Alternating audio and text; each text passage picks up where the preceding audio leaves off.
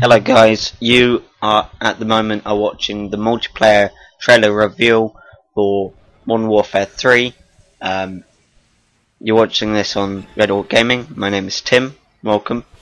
Um, we're just going to go through this trailer as it's playing on the screen, so keep watching, keep listening, and we're going to be going through some of the stuff uh, detailed in this trailer. So a new game mode is uh, is coming to Modern Warfare series. It's called Kill Confirmed.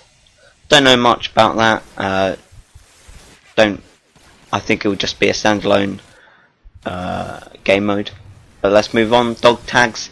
This uh, we saw when the first person got shot, I think, and they dropped some dog tags, and the player ran up and collected them. So I don't know. Uh, that might uh, add to the score, add um, to your personal records you just saw it then there there with the dog tags there.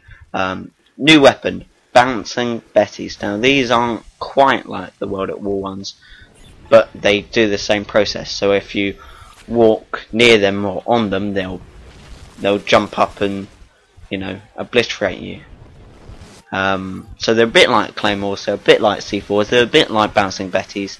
Uh, they're powerful they're a bit noobish a bit campish um, but anyway, we saw some Call of Duty Elite interaction with the game, and Call of Duty Elite is Activision's uh, package for the more advanced player, if you want. Um, so we saw some of that being implemented in the gameplay. Uh, new kill streaks were revealed. Uh, UAV, that's not new.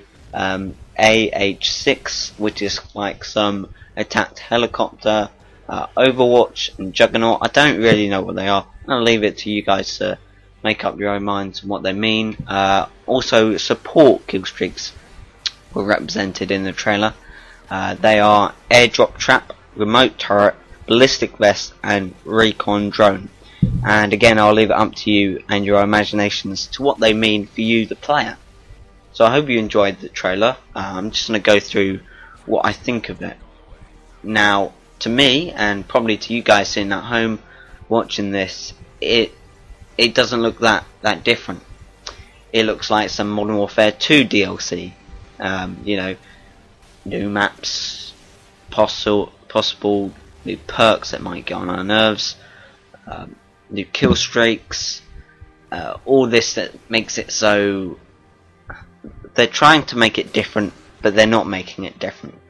This game is running on the same engine and, and the same sort of of uh, background stuff that uh, that the past two games have been. You know, Modern Warfare 2 and Call of Duty 4. Call of Duty 4 has to be for me one of the best um, best Call of Duties of the series. But from then, they haven't changed the multiplayer at all.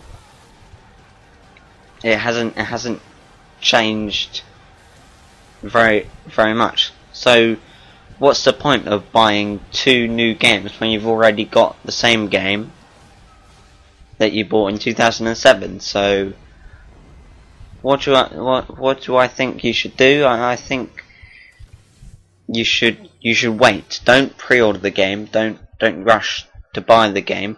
Wait a couple of weeks, a week, a week and a half to see what people say. If it's the same old, same old, which I think it will be, then it's up to you, isn't it? Uh, ultimately, but I, I personally won't be buying the game uh, unless it's amazing. Um, unless it's like COD 4 because I really enjoy that game. Um, but don't rush into it. Wait a couple of weeks. Wait until the reviews come out. Um, wait until you see some gameplay and uh, then make up your mind. But I've hoped you enjoyed this trailer kind of analysis.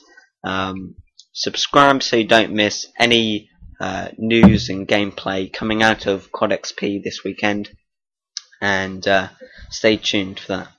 Thanks, guys.